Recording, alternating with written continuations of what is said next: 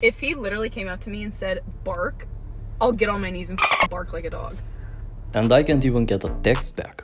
Man, I got nothing going on for myself. Um, you're probably gonna be like, but hey, at least you got YouTube. Well, this is how much I have made so far on YouTube.